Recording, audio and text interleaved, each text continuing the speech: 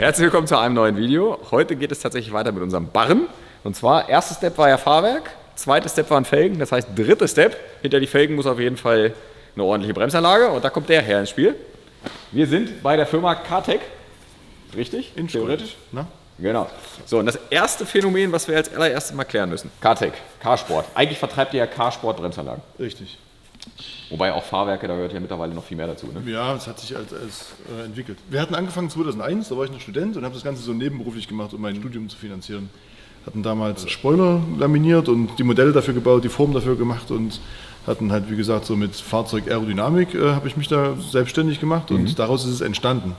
Der ganze Aerodynamikmarkt ging aber irgendwann so dann den Bach runter Mitte der 2000er, wo dann die ganzen Autos immer schöner wurden und sie wie jetzt halt voll lackierte Stoßfänger hatten und alles dann ja. ja, nicht mehr so war wie in den 90ern, oder? Da hast du eine Stoßstange, war eine Plastikstoßstange und die ab und was Schönes als GFK dran, das war, hat das Auto gleich viel besser gemacht. Das waren so diese Golf 2, Golf 3 Zeiten in den Dreh, ne? Richtig, aber irgendwann waren die Zeiten halt vorbei und dann ähm, ging der Spoilermarkt auch mit dieser Passantenschutzrichtlinie echt einen Bach runter. Da haben wir uns dann, also ich mich auf Fahrwerke und Bremsen dann spezialisiert. Und weil wir halt schon Spoiler-Gutachten gemacht hatten, hatte ich dann so einen Hersteller aus Taiwan aufgerissen und habe denen den Deal angeboten, dass wir die Gutachten machen für deren Produkte, weil ich mich halt schon damit auskannte, wie das funktioniert, mit einem Gutachten für ein Produkt zu machen und dafür das äh, hier zu vertreiben. Und seitdem machen wir halt den Carsport-Vertrieb. Und da Carsport aber ein Markenname ist vom Hersteller, haben wir uns entschlossen, uns Cartec zu nennen, weil wir halt schon nicht nur vertreiben, sondern wir entwickeln ja auch für den deutschen Markt. Wir, wir messen die Autos aus und äh, schicken die Daten rüber ans Werk, die bauen dann entsprechend die Produkte dafür. Wir prüfen die hier, machen die Gutachten und den Service und allem drum und dran. Und weil das Ganze halt dann nicht nur Vertrieb, sondern auch einen technischen Hintergrund hat, haben wir uns Cartec genannt, um halt möglichst nah an unserem Hauptprodukt zu sein, aber trotzdem noch eigenständig. Carsport also ist eigentlich eine Marke aus Taiwan. Carsport ist eine Marke aus Taiwan. Die heißt in Taiwan auch Carsport? Die heißen auch Carsport. Klingt irgendwie so europäisch, finde ich. Hätte ich jetzt gedacht, so dass in Taiwan da. Die sind eigentlich durch, durch den Ami äh, berühmt geworden, weil der Ami dort mit dem Hauptmarkt ist ja USA, ist ein riesen Markt da drüben. Die haben ja, deswegen hat der dort Absätze, da können wir hier davon träumen oder so. Und die, die, die eigentliche Marke Carsport gibt es aber auch in anderen Ländern. Die gibt es auch in anderen Ländern, richtig. Und die meisten anderen Länder kaufen das Zeug halt so, wie es ist, direkt ab Werk und machen den Kart- Karton nicht auf und verkaufen es direkt weiter, weil wo hast du sonst das Problem wie hier, dass du jedes Zeug alles, also TÜV Ja, ja. testen lassen musst? Und wenn wir halt so ein Fahrwerk auspacken oder so eine Bremse und bauen dies erstmal ein, dann prüfen wir das und merken, oh, das ist hinten viel das ist zu weich, es geht zwar schön tief und dann endet es aber nicht an der Stelle, weil für einen Engländer ist es egal, wenn es schön tief ist, dann ist es cool, aber bei uns muss es ja auch gut funktionieren. Du hast ja ganz andere Anforderungen an Straßenverkehr. Und Das heißt, eure Carsport-Produkte sind anders als die Carsport-Produkte, wenn ich sie zum Beispiel in England, Amerika und so weiter kaufen würde. zu Weil ihr, 80 sie- Prozent, ja. weil Also ihr sie selber noch mal ein bisschen optimiert. wir optimieren die und lassen die quasi nach unserem, äh, nach unserem Zeichnungssatz. Wir haben dann so, so, ein, so eine Zeichnung für das GS-Fahrwerk. Das schicken wir dann ans Werk, sagen wir auf, zehn Stück davon bitte produzieren fürs nächste Mal. Und dann kommt das Fahrwerk genauso, wie ich es brauche. Dann kann ich das Fahrwerk so bestellen, wie ich es hier brauche. Das bedeutet aber nicht, dass das exakt dasselbe Fahrwerk ist, wie das, was die in den USA drüben vertreiben. Weil dieses Sortiment von Carsport ist wirklich krass. Also ihr könnt alle auf jeden Fall mal einmal in den Online-Shop reinklicken, weil da kann man ultra witzig cool hin und her konfigurieren. Alleine, was ist alles an verschiedenen Bremsanlagen in verschiedensten Durchmesser, verschiedene Kolbenvarianten, verschiedene Farben und so weiter. Also die Möglichkeiten sind ja wirklich unendlich, übertrieben gesagt. Ähm, Und genau das wollen wir heute klären. Jetzt zum Thema Bremse. Wir sind hier wegen Barrenbremse mit TÜV. Das heißt, für solche Autos gibt es auch Bremsanlagen direkt mit Teilgutachten. Weil es ist ja zum Beispiel so, ich kann bei euch im Online-Shop auch verschiedene Durchmesser durchklicken. Das heißt zum Beispiel für eine Supra finde ich jetzt 330, 356, 380. Ist das dann alles das gleiche Gutachten oder ist das dann Also immer ein die- einzelnes Gutachten, je nach Durchmesser der Bremse? Ja, für die Autos, wo es sich lohnt, also natürlich alles, was VAG-Autos sind oder BMW, selbst die Japaner, viel Toyota, Nissan und so weiter, haben wir spezifische Teilgutachten für genau die Bremse an genau dem Auto. Aber wenn es jetzt irgendwie ein Exot ist, dann müssen wir ein Teilgutachten hernehmen von einem Auto, was entweder die gleiche Achse hat oder zumindest das gleiche Leistungsgewicht und machen dann noch eine Prüfung mehr. Und das ist ja ziemlich oft der Fall, ähm, weil rechne mal, wie viele verschiedene Autos wir haben und ähm, wie viele verschiedene Bremsen du Ja, pro Achse und ja, so ja, weiter. klar. Das, das ist, wenn du da für, jedes, für jeden Einzelfall ein Gutachten machen würdest, dann hättest du mehr Gutachten als alles andere. Dann bräuchten wir das nur anbauen oder so.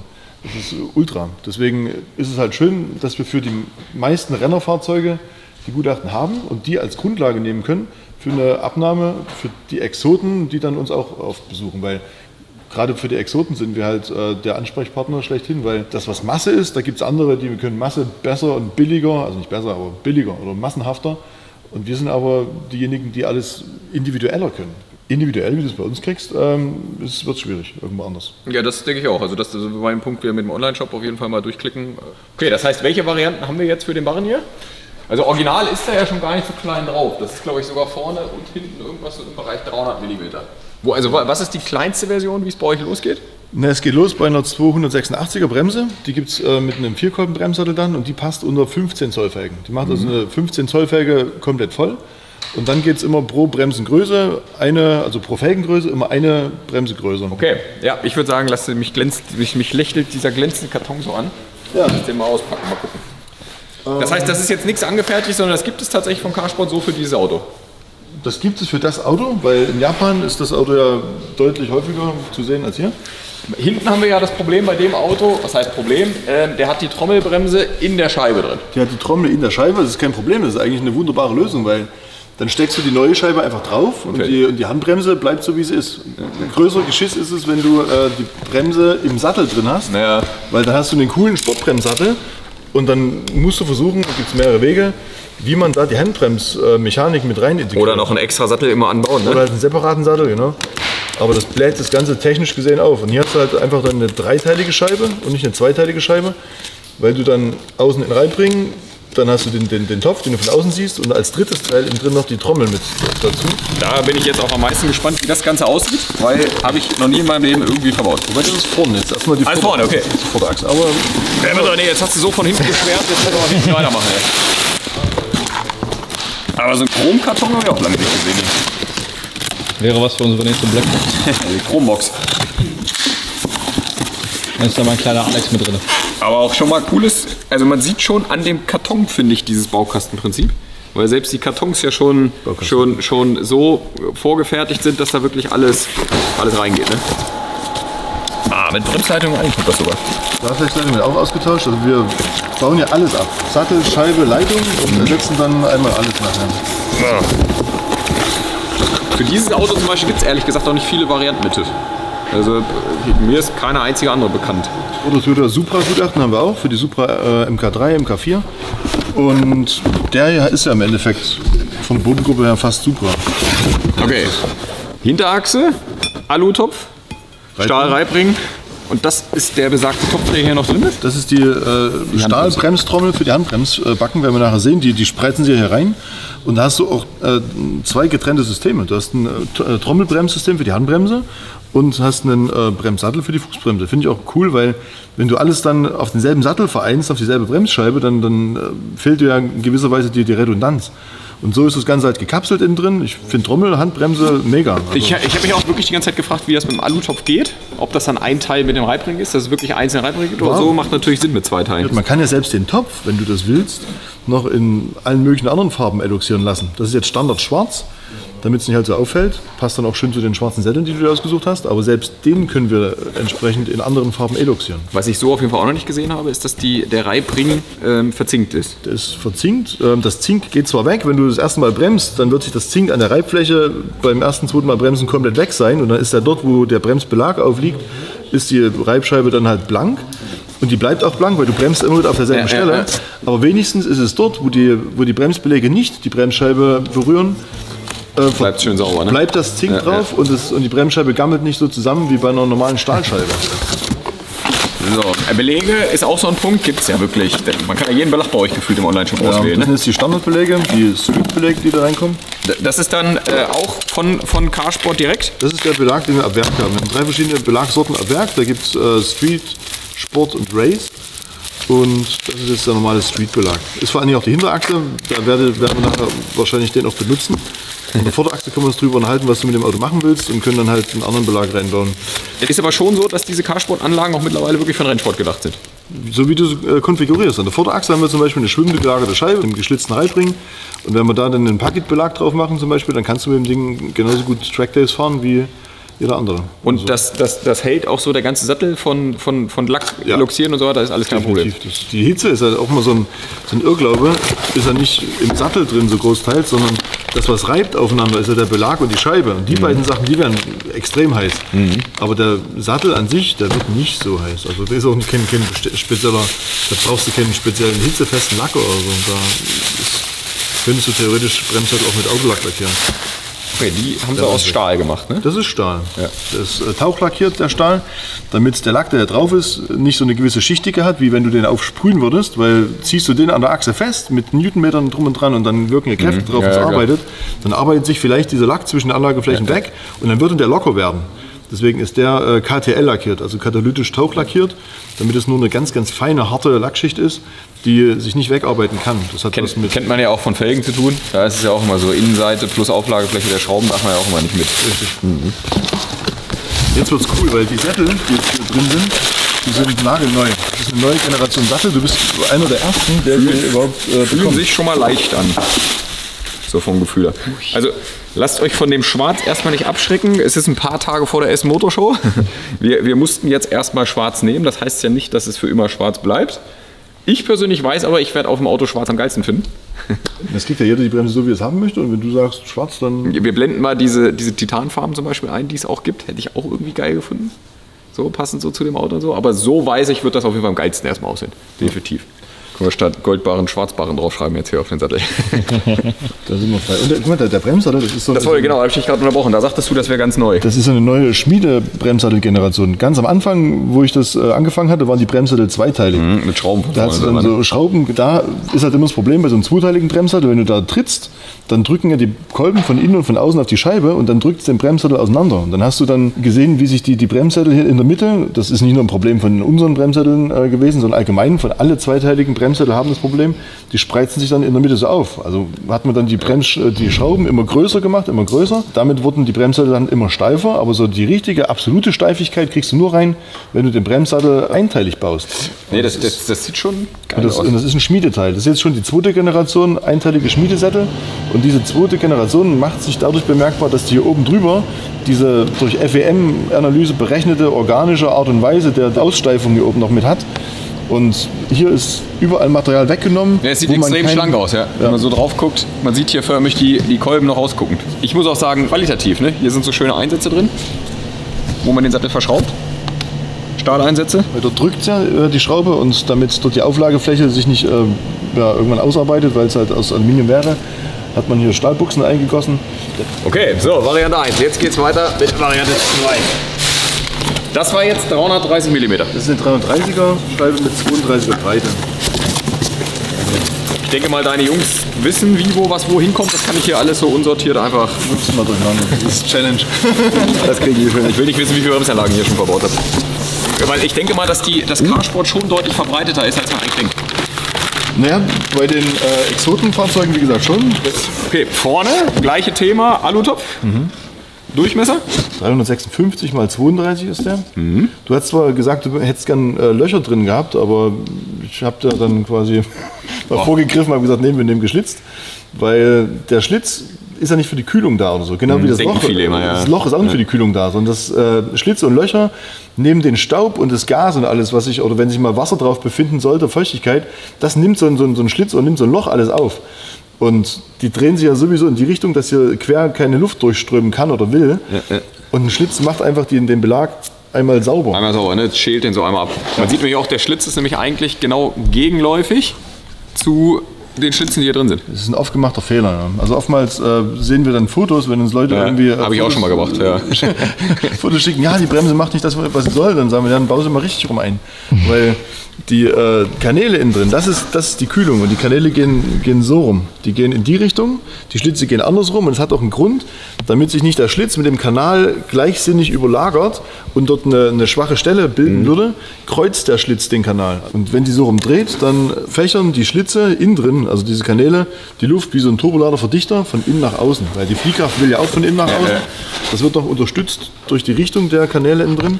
Und dann ist so rum die Rotationsrichtung. Das heißt, wir haben jetzt gerade rechtes Rad, da ist nach vorne. Das heißt, diese Schlitze laufen von der Theorie her entgegengesetzt. Die laufen eigentlich so rum, wie man es nicht vermuten würde. Ja. Aber dem Schlitz ist es Wurst, wie rum er den, den Belag reinigt. Ja, klar. Dem Kanal innen drin ist es, oder der Luft ist es nicht egal, wie rum die durchströmt. Jetzt haben wir hier das Besondere, sagtest du schon, Thema Verschraubung. Wir haben äh, hintenrum, wenn du die hintere Scheibe nochmal greifen möchtest, da siehst du die, äh, na gut, durch die Handbremstrommel sehen wir es halt schlecht.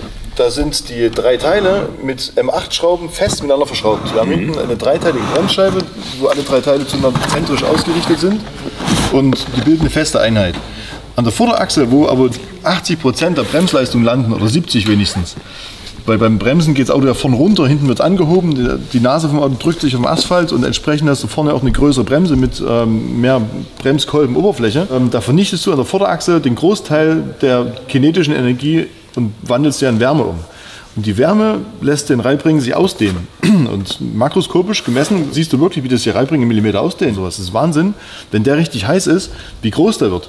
Und diese Größendifferenz zwischen dem Stahlteil und dem Aluteil, die will irgendwo ausgeglichen werden. Zwar sind die Löcher alle größer als die Schrauben, die da durchpassen. Das heißt, selbst wenn der fest verschraubt ist, können die Teile aufeinander lang gleiten und dann hört man so eine mehrteilige Bremse aufs Knistern, wenn sich das äh, ausdehnt. Aber wenn man so verschraubt wie hier, dann ist Durchmesserdifferenz zwischen dem Teil und dem Teil kein Thema mehr, weil das schwimmend gelagert ist. Kennst du vielleicht beim Motorrad? Das sind die Teile ja auch nicht fest, sondern sind, liegen auf so Nuten und die Nuten zeigen alle zur Mitte hin. Die Nut zeigt nach hier, die Nut zeigt nach da, die zeigen alle nach da. Das heißt, beide Teile können nicht so sich irgendwie zueinander verändern, sondern immer nur weg vom Zentrum oder hin zum Zentrum. Das heißt, die, die, der eigentliche Reibring ist jetzt übertrieben gesagt gerade nur draufgesteckt hier und kann jetzt auf diesen Pads hier ein bisschen hin und her gleiten. Die Schraube hält mit dem Block fest auf dem, auf dem Alutopf. Das ist äh, quasi eine feste Einheit. Und der Reibring hat Nuten, die auf den Blöcken liegen. Und der Ja, kann ja. nach außen gleiten, nach innen gleiten, kann größer und kleiner werden, aber in keine andere Himmelsrichtung kann er weg. Und dadurch, dass sich beide Teile im Durchmesser frei voneinander verändern können, sind Spannungen kein Thema in so einer Wofür ist hier? Hat das irgendein, ist das hier irgendwie gewuchtet? Naja, man, man, äh, wenn man es ganz, ganz fein machen will, so wie hier, dann verbaut man, dann verschraubt man beide Sachen miteinander. Und trotz dessen, dass das Aluteil CNC gedreht ist und keine Unwucht haben kann, und der äh, Reibring ja auch äh, übergedreht ist, aber in der Gussform ist der Sandguss. Können ja, es kann ja der Kanal mal ein bisschen kleiner sein als der andere Kanal und dann werden die Reibringe an sich, wie du hier siehst, schon mal Ja, ja, grob vorgewuchtet. Das sind hier so außen so, so Wuchtfräsungen drin. So ist er normal und das ist eine Wuchtfräsung. Und nachdem beide Teile miteinander verheiratet werden, äh, gehen die im Werk nochmal auf eine Feinwuchtmaschine. Ach, krass, okay. Und dann machen die eine Klammer rein mit der entsprechenden Grammanzahl und wuchten den Reibring nochmal fein. ist schon ein bisschen was hinter mittlerweile. So, nehmen wir den hier auch noch mal raus. Die Kartons haben wir auf jeden Fall angetan. ja, weil es halt so, so baukastenmäßig alles reingeht. Und uns interessiert ja eigentlich nur der Kunde geht. Ist jetzt auf den ersten Moment nicht groß, aber liegt auch wieder an Na, stecken wir auf die Scheibe diesem, drauf. diesem krass dezenten Design. Finde ich persönlich aber gut. Also ich bin eher der Typ, der eine große Scheibe mit einem kleinen Sattel hat. Als so, beste Beispiel ist diese, die, die allerneuesten Keramiken, so 420 und sowas, wo du gefühlt die, die halbe Felge nur Bremssattel hast. Weiß ich nicht, ich finde es nicht, ich find's nicht so geil. Aber halte mal neben, neben der normalen Bremssattel. Das ist schon ein Unterschied wie Tag und Nacht. Der hat äh, sechs Kolben mit Staubschutzmanschetten. Die gibt es auch ohne Staubschutzmanschetten, die, die, äh, die Sättel. Wenn man jetzt Rennstrecke fahren will und man hat halt glühende Scheiben und Beläge, dann sind diese Staubschutzmanschetten hier hinten für den Rennstrecken-Junkie manchmal Schnell weg. hinderlich und schmelzen dann. Deswegen gibt es auch eine Staubschutzmanschettenfreie Variante, die hat dann doppelte O-Ringe drauf. Aber das ist die wartungsärmere Variante und selbst die taugt auch für, für äh, Track-Ausflüge. Ein Punkt. Habt ihr zufälligerweise eine Waage hier?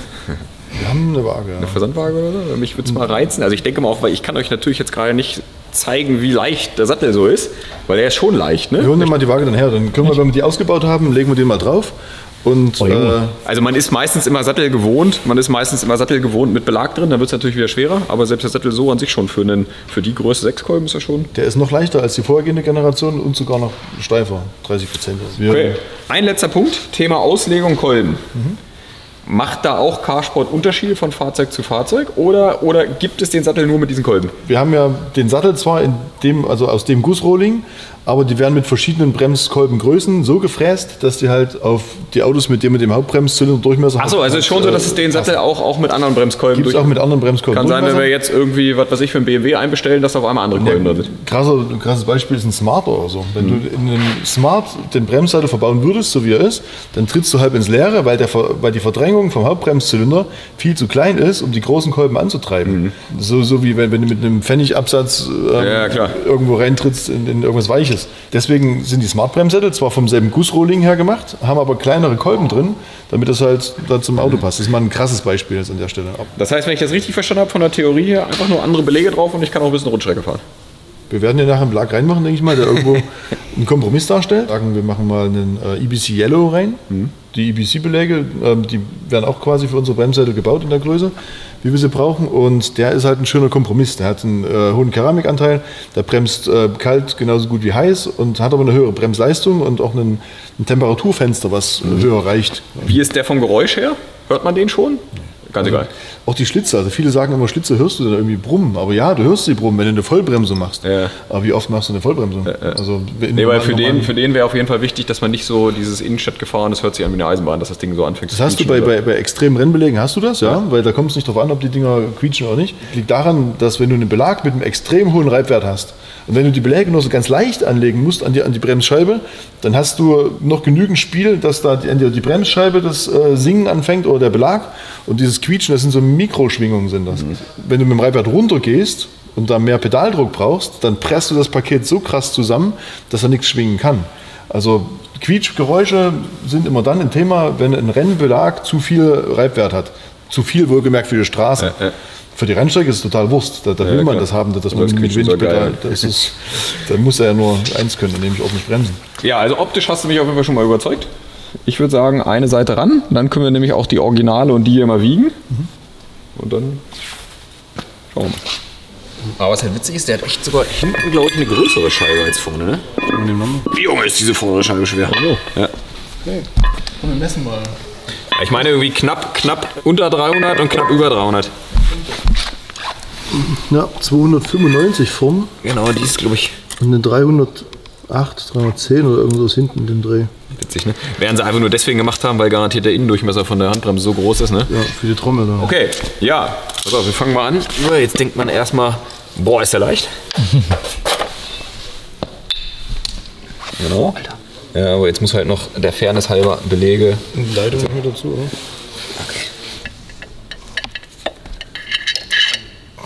Ja, also 14,4 ist ja für eine 356er Bremse.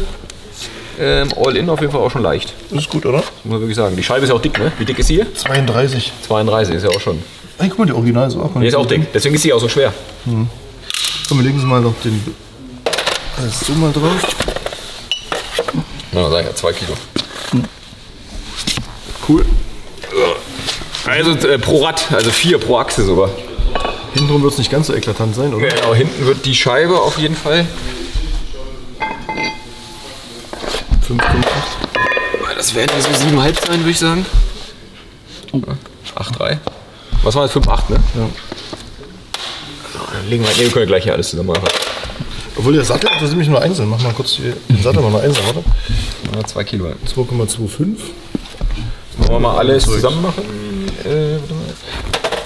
Den Sattel einmal drauf. Dann können wir komplett einmal volles Programm machen.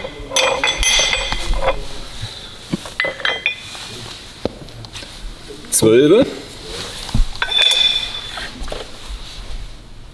Gegenüber neun. Drei schwerer. Das heißt, summa summarum ist es tatsächlich so, dass wir eine viel, viel größere Bremse haben mit viel, viel mehr Kolben, aber gerade mal zwei Kilo mehr haben Am ganzen Auto. am ganzen Auto. Vorne sparen wir 2 Kilo ein, hinten aber 3 Kilo mehr gegenüber Serie. Ja, macht halt diese, diese absolut dünne Scheibe hier. Nee, auch alles richtig gemacht. Ich sag mal, das sind ja Kilos, die sich auf jeden Fall lohnen werden. Ne? An der richtigen Stelle, genau. Alles klar, jetzt kommt sie ran.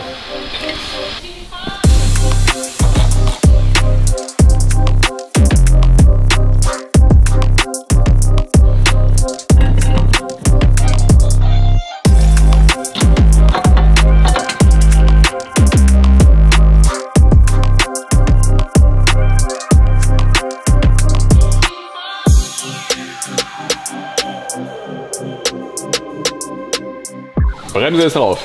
Ja, wir haben es äh, mit vereinten Kräften innerhalb der Zeitvorgabe geschafft. Also heute ist ja noch das Thema, wir müssen ja noch einbremsen, müssen noch eine, äh, eine Bremsprobe machen, dass wir die ganzen TÜV-Sachen alle dann noch eingetragen kriegen und so. Deswegen habe ich heute mal mitgeschraubt und zwei Mann mit zwei Achsen, das ging jetzt in wie viele Stunden waren es? Vier Stunden oder so? Ja, mit Entlüften und allem ist es dann am Ende ja schon. Aber ich sag mal, Bremse immer lieber ein bisschen Zeit lassen, gewissenhaft machen, als jetzt irgendwie was draufkloppen und am Ende Ja, man muss auch mit ein bisschen Lieber einbauen, das Ganze. Also, Baustelle. Weil ihr habt ja selber für so einen Lexus so eine Bremse auch noch nie verbaut. Für genau das Auto in genau der Größe nicht. Aber das ist ja gerade das Ding. Du hast ja 500 verschiedene Fahrzeugtypen. Du hast ähm, pro Achse sechs, sieben verschiedene Größen an Bremsen, die du machen kannst. Also Aber hat es jetzt so gepasst, wie vom Hersteller geschickt? es hat so gepasst, wie äh, es sollte. Musste nichts hier gedreht, gefräst, angepasst oder irgendwas werden, einfach ran und fertig. Das hat alles, wir haben jetzt hier bei, bei den Bremsschläuchen noch ein bisschen, ähm, bisschen mehr Scheuerschutz drauf gemacht, als das vorgesehen war, weil hier Achsschenkel, dort ist der Stabi oder der, der untere Querlenker hier, die dann irgendwo im Weg sind und damit es dann nicht angehen kann, haben wir noch so ein bisschen Pochierschlauch rundherum gemacht. Ich finde es halt immer schön, wenn das ein bisschen Ja, das ist wirklich mit Liebe verbaut einfach so, dir halt Gedanken machst, wo du am Ende dann noch äh, was ein bisschen perfektionieren kannst, weil so ein Ding lenkt ja auch, gerade vorn, längst da, längst da, geht hoch, geht runter und so ein Bremsschlauch, der soll ja ein Autoleben lang halten. Also wäre nichts schlimmer, wie wenn du trotz großer Bremse ins Leere trittst, weil so ein Schlauch sich irgendwo aufgeschaut hat. Optik vom Topf und von der Scheibe finde ich auf jeden Fall geil. Hat irgendwie was? Passt schön zusammen so, ne? Ja, auch dieser, dieser schlanke Sattel, auch so, dass man hier so durchgucken kann. Finde ich auch irgendwie cool. Also klar, schlanker Sattel macht es natürlich jetzt in Summe wieder kleiner. Ein anderer Sattel, überleg mal, wie viel dicker der hier überall aufbauen würde. Aber wir wollen es ja leicht und schön haben. Sind ungefährte Massen, richtig. Ja. So, hinten haben wir jetzt sogar schon eine Felge drauf. Und, ja. Luft. Sitzpass, wackeln hat Luft. Wir hatten ja vorher an, ähm, äh, an dich quasi in Vertretung die, die, die Querschnittszeichnung geschickt und du hast ja weitergeleitet an MB Design, sodass die ja die Felge entsprechend so fräsen konnten, dass das Ganze aneinander vorbeigeht. Also es ist immer gut wie in einer Beziehung, oder? Wenn man miteinander ja. redet. Nicht, dass dann hinterher erst alles, wenn es fertig ist, dann mh, nicht zusammenpasst. Habe ich gemacht, ja, habe ich gemacht. Aber hier ist auch krass, guck mal, der sieht aus wie so ein Käfig, wenn du hinten durchguckst. Oh, Junge. Wenn dir ein cooler Name einfällt für die Auf- und Bremse, dann Ja, könnt ihr die Leute mal reinschreiben. Könnt euch mal, also wir brauchen einen Namen für diese, ich sag jetzt mal, Forged-Generation, die hier so ein bisschen bionomisch aussieht, wie auch immer. Da braucht ihr einen Namen für. Wobei halt Forged schon verbrannt ist der Name. Die, die, die vorhergehenden Bremssättel waren ja auch schon Schmiedesättel und das, das waren ja schon die Forged-Sättel. Und das sind dann Lightweight Forged oder wie, wie wie man das nennen wollen. Forged Plus. Forged Plus. 2.0. Ja, den Zuschauern wird bestimmt was einfallen, wie die neue Carsport-Linie heißen soll. Geil. Ja, aber hinten die, die Bremsgröße finde ich auch gut. Ist jetzt nicht zu übertrieben. Ich finde vom Verhältnis her sieht der hintere Bremssattel größer aus als der vordere. Also ich finde so für den hinteren Sattel finde ich den schon ganz schön. Ja, weil die Scheibe kleiner ist. Also auf, der, auf der kleineren Scheibe wirkt der Sattel dann wahrscheinlich so ähm, etwas größer. Aber klar, wie du schon sagst, vorne rum ist es, füllst die Felge mehr aus als hinten, was ja technisch auch Sinn macht. Das Ding ist vorne schwerer als hinten, vorne ist der ja. Motor, vorne ist das Getriebe alles und vorne ist auch dann die Kraft, wenn du am Ende bremst und das Ding nickt nach vorn. Deswegen brauchst du vorne noch mehr und das stellt sich auch optisch so jetzt entsprechend stimmig dar. Wie oft kommt das vor, dass ihr ähm, direkt Bremsen auch montiert? Weil Großteil wird ja schon online an der Art sein. Naja, wir sind ja hier im ähm, Raum Leipzig und die Hauptabsatzgebiete sind schon so Ruhrpott, äh, Münchner Raum oder, oder Hamburg Ah, oder so. krass, okay. Also die, die ganzen großen Ballungsgebiete, da versenden wir als meiste hin und halt so ins deutschlandnahe Ausland. Aber es kommen schon ab und zu auch Leute von, von weiter weg hergefahren und lassen ihre Autos mal äh, umbauen. Also so pro Woche zwei, drei Mal oder so ist das schon der Fall. Okay, ja, jetzt kommt noch ein letzter Punkt und zwar René wird gleich das Kantana-Schwert anreißen. Hast du den Schaltkoffer drin schon gesehen? Das ist die Legende, wirst du gleich sehen. ähm, was müssen wir machen zum Einbremsen? Ne, so eine Bremse will ja entweder normal eingefahren werden, also entweder du fährst so zwei Tankfüllungen normal. Dann, das dann, geht auch. Dann, ja, dann, dann, schleifen sich halt die ganzen Reiboberflächen aufeinander ein. Du hast jetzt einen neuen Belag, du hast eine neue Scheibe, die sind alle noch nicht aneinander gewöhnt. Also der Belag ist dann total rau, die Scheibe ist auch äh, einfach nur übergeschliffen quasi, ist nicht rau, aber mikro gesehen passt das noch nicht aufeinander. Und wenn du jetzt äh, zwei Tankfüllungen normal fährst und du siehst, dass der, dass erstens die Oberflächenbeschichtung und auch der darunter liegende Schliff weg ist und das ist alles so eine spiegelnde Oberfläche, dann kannst du davon ausgehen, dass sich die Reibpaarungen gefunden haben. Dann sollte man es nochmal richtig warm bremsen, damit auch so flüchtige Bestandteile wie Lacke, Öle und so ein Zeug alles mal ausdampft. Dann qualmt die mal einmal und dann ist für den Rest des Bremsenlebens eigentlich Ruhe. Dann hast du erwärmt, du hast sie ineinander eingeschliffen. Ah, Okay, Und dann also, also eigentlich muss man jetzt nicht irgendwie einen bestimmten Zyklus oder so fahren. Muss man nicht, aber wir haben jetzt keine zwei Tankfüllungen Zeit. Wir haben halt ein bisschen Zeitdruck.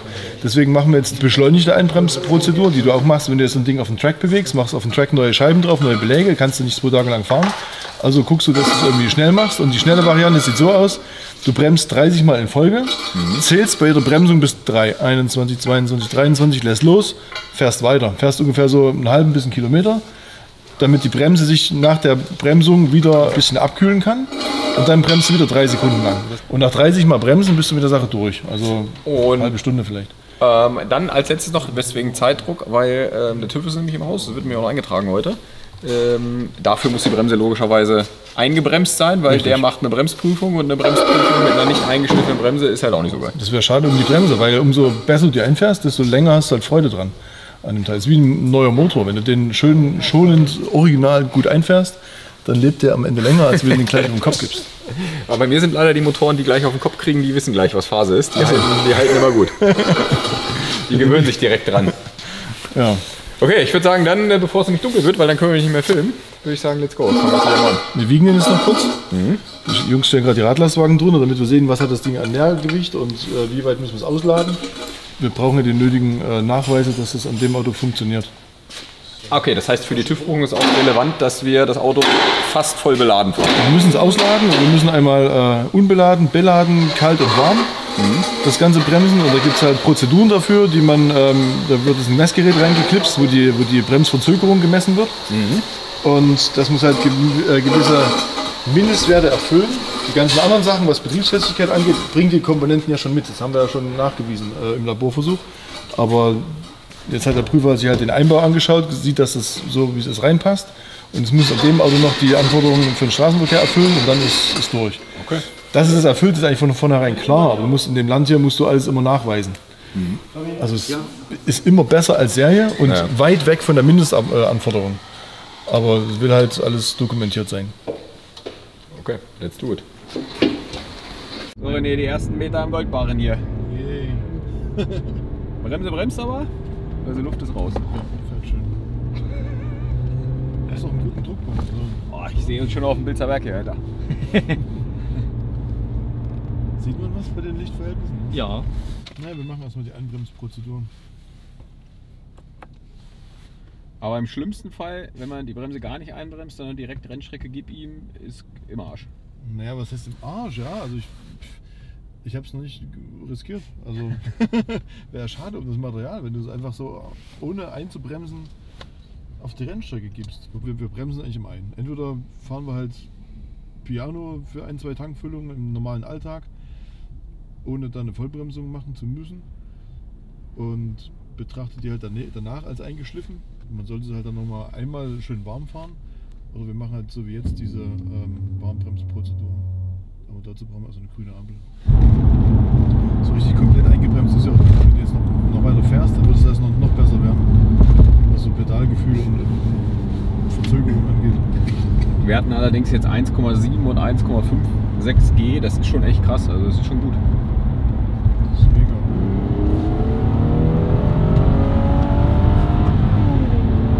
So, 100, ich lasse wieder ausrollen. 3, 2, 1. Aber ich muss sagen, es fühlt sich auf jeden Fall extrem gleichmäßig und gut an. Also das Auto zieht weder nach links noch nach rechts, was ja bei so tiefen Fahrwerken auch immer so eine Sache ist. Ja. Und ähm, ich glaube, er bremst auch recht stark von hinten auch mit. Also es, fühlt sich nicht so an, als wenn er so vorne über die Räder schiebt, sondern schon, als wenn er sich so einfach auf den Boden saugt. Richtig, die Hinterachse hilft dann auch schön mit. Also wenn, wenn so eine Hinterachse zu klein dimensioniert ist, dann hast du zwar so diesen Leitwerkeffekt, dass das Heck halt niemals blockieren kann und immer das Heck in der Spur hält quasi, aber du verschenkst halt auch echt viel Meter dabei. Und wenn so ein ABS wirklich Vierkanal regelt, dann kann die Hinterachse ruhig mehr mithelfen. Weil jedes Rad wird einzeln an der Blockiergrenze gehalten. Dann, dann muss man die nicht mehr mechanisch so dermaßen auf äh, Vorderachsbremse trimmen, wie es früher halt der Fall war in den 80er und 90er. Also Bremse eingefahren und Bremsprüfung auch bestanden. Läuft. Richtig. Also René, Tag ist vorbei. Mich hast du definitiv überzeugt. Ich find's cool. Passt, bremst, sieht geil aus. Vielen, vielen Dank dafür. Alles eingebaut, alles fertig. Jetzt geht's zurück nach Hannover und ich würde sagen, bis zum nächsten Mal. Ciao. Macht's gut.